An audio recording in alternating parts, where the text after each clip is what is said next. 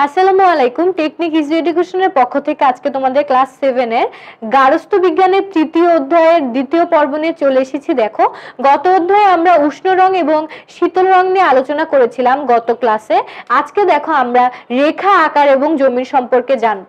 আচ্ছা প্রথমত দেখো, রেখা আঁকার জমিন হচ্ছে শিল্পেরই কিছু উপাদান। শিল্প বলতে আমরা কি বলেছিলাম? যে জিনিসটা আমাদের কোনো বস্তুকে আকর্ষণীয় এবং সৌন্দর্যপ্রিয় করে তোলে, সেটি আমাদের শিল্প। এবং শিল্প ব্যবহৃত যে উপাদানগুলো থাকে সেগুলো হচ্ছে শিল্প উপাদান। শিল্প উপাদানের মধ্যে প্রথমে দেখো আছে রেখা। রেখা বলতে কি বোঝায়? রেখা বলতে রেখার মাধ্যমে কোনো ঘরের নির্দিষ্ট আকার দেওয়া যায় বা কোনো নকশা ফুটিয়ে তোলা যায়। সেই রেখা বিভিন্ন ধরনের হতে পারে। যেমন দেখো লম্বা লম্বি যে রেখাগুলো থাকে, এই রেখাগুলোর সাহায্যে কোনো বস্তুকে লম্বা দেখায় বা কোনো বস্তু যদি খাটো হয় সেই বস্তুটাকে প্রশস্ত করে দেয়। তারপর দেখো আবার বিভিন্ন ধরনের আড়াআড়ি রেখা। এই রেখাগুলোর মাধ্যমে কোনো জিনিসকে চওড়া দেখায়। বা কোনো জিনিসকে মোটা দেখায়। যেমন দেখো কোনো চিকন বস্তুকে সেটা চওড়া দেখাচ্ছে বা প্রশস্ত দেখায়।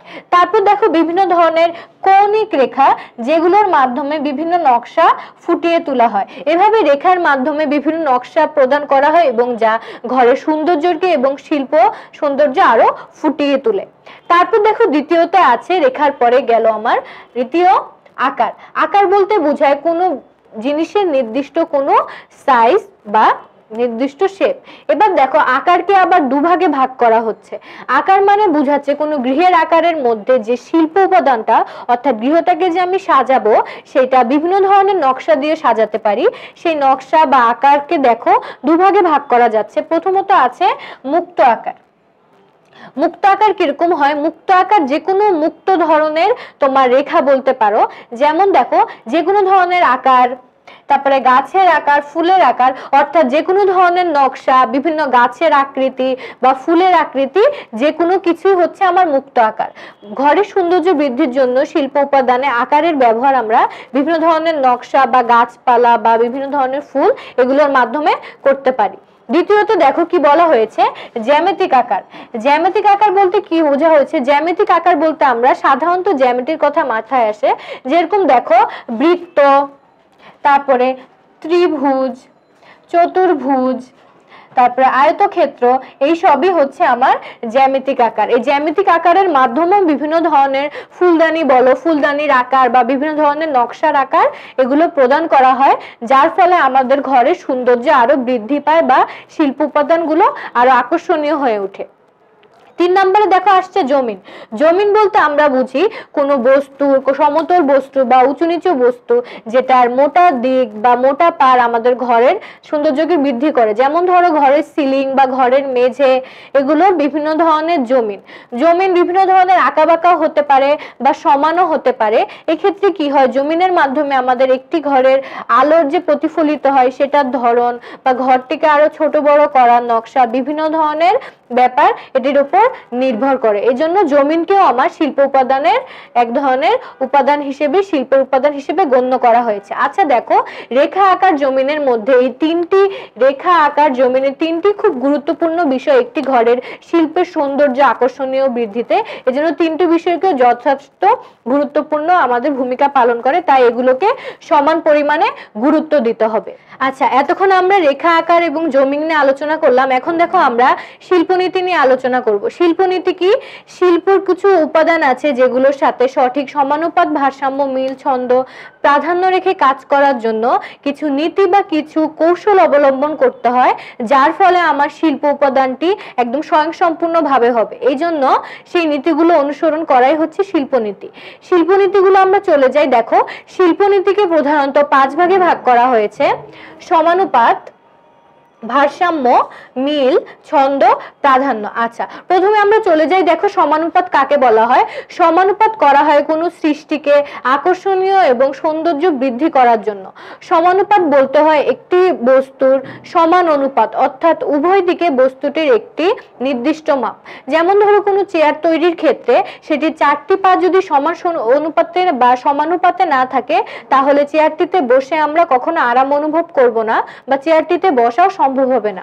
এজন্য শিল্প উপাদানের ক্ষেত্রে বস্তুটিকে স্বয়ংসম্পূর্ণ করার জন্য অবশ্যই সমানুপাত নীতিটি আমাদের মেনে চলতে হবে।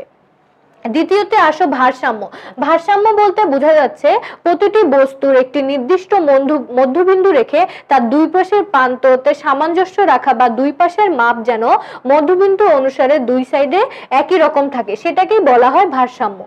অর্থাৎ কোনো বস্তুর মধ্যবিন্দু থেকে তার দুই প্রান্তের যে মাপ, সেটা যেন সঠিক পরিমাণে থাকে এবং সামঞ্জস্য বিধানে থাকে। যেমন, বাচ্চারা বা তোমরা যেহেতু পার্কে খেলার ক্ষেত্রে বিভিন্ন ধরনের ঢেকি থাকে, অর্থাৎ এক সাইড উঁচু হয়, আরেক সাইড নিচু হয়, সেক্ষেত্রে যদি দুই সাইডের ভারসাম্য সঠিক না থাকতো, তাহলে সেটাতে খেলা করা কোনো ধরনের সম্ভব হতো না।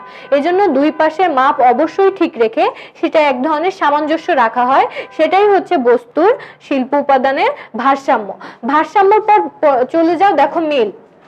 মিল বলতে বোঝায় কোনো বস্তুর কোনো কিছুর সাথে সাদৃশ্য বা একই ধরনের উপাদানের সাথে একটি সাদৃশ্য বা ওই উপকরণের সাথে অন্য কোনো উপকরণের সাদৃশ্য। যেমন ধরো রুমে ঢুকে কোনো একটি ঘরের মিল আমার দেখতে ভালো লাগল, সেই ক্ষেত্রে সেখানে রঙের বা ফুলদানির বা সোফার বা আসবাবপত্রের কোনো মিল থাকতে পারে বা বস্তুটির সাথে অন্য কোনো রং, পর্দা এগুলোরও মিল থাকতে পারে। এভাবে ঘরের সৌন্দর্য বৃদ্ধির জন্য অবশ্যই মিলকরণ করে তোমার শিল্পনীতি মেনে চলা হয়। এরপর দেখো ছন্দ। ছন্দ বলতে কি বোঝানো হয়? ছন্দ হচ্ছে কোনো শিল্পকে ধারাবাহিক বা গতিশীল রাখতে সাহায্য করে। ধরো, আমরা কোনো জিনিস দেখছি, সেটা যদি হঠাৎ করে কোনো ফিনিশিং না দিয়ে সমাপ্ত হয়ে যায়, তাহলে আমাদের জিনিসটি কখনোই মনের মতো হবে না। এই জন্য প্রত্যেকটা জিনিসের একটি নির্দিষ্ট তাল বা ছন্দ রেখে জিনিসটি পর্যায়ক্রমে চালনা করা হয়। এটি হচ্ছে শিল্প উপাদানের একটি অন্যতম নীতি হচ্ছে ছন্দ। তারপর চলে যায় প্রাধান্যতে। প্রাধান্যর ক্ষেত্রে বলা হয়, প্রাধান্য বলতে বোঝায় শিল্পের কোনো একটা উপাদানে বেশি গুরুত্ব দেওয়াকে ধরো দুটি বস্তুর মধ্যে একটিতে বেশি গুরুত্ব দিলাম, সেটি হচ্ছে শিল্পের প্রাধান্য দেওয়া। শিল্পের প্রাধান্যের ক্ষেত্রে ধরো কোনো ফুলদানিতে অনেকগুলো ছোট ফুল রাখা হলো, সেইখানে চোখে ঢুকতে প্রথমে ফুলগুলো চোখে পড়বে। এতে আমরা ওই ফুলটিকে প্রাধান্য দিচ্ছি। বা অনেকগুলো ছোট ফুলের সাথে একটি বড় ফুল রাখলাম, বড় ফুলটা আগে চোখে পড়ছে সেই ক্ষেত্রে আমরা সেই বড় ফুলটিকে প্রাধান্য দিচ্ছি। এরকম করে শিল্পনীতিতে সবচেয়ে যে জিনিসটাকে আগে গুরুত্ব দেওয়া হবে, যাতে দৃষ্টি আকর্ষণ করে সেদিকে প্রাধান্য বলা হয়। অবশ্যই আমাদের শিল্প উপাদানের নীতিগুলোকে যদি আমরা সুন্দরভাবে আমাদের ঘরকে আকর্ষণীয় এবং মনোরম বা সুন্দর করতে চাই, তাহলে অবশ্যই আমাদের এই পাঁচটি শিল্পনীতি মেনে চলতে হবে। তাহলে আমাদের প্রত্যেকটি কাজ বা প্রত্যেকটি শিল্পর কাজ একদম স্বয়ংসম্পূর্ণ হবে, যার সার্থকতাও উৎপন্ন হবে, আমাদের সৌখিনতাও ভালো মতো বজায় থাকবে। আচ্ছা এই পর্বে দেখো আমি কি কি এই ক্লাসে রেখা জমিন আকার এবং শিল্পনীতি সম্পর্কে আলোচনা করলাম। আশা করি এই টপিক্সে তোমাদের আর কোনো সমস্যা থাকবে না।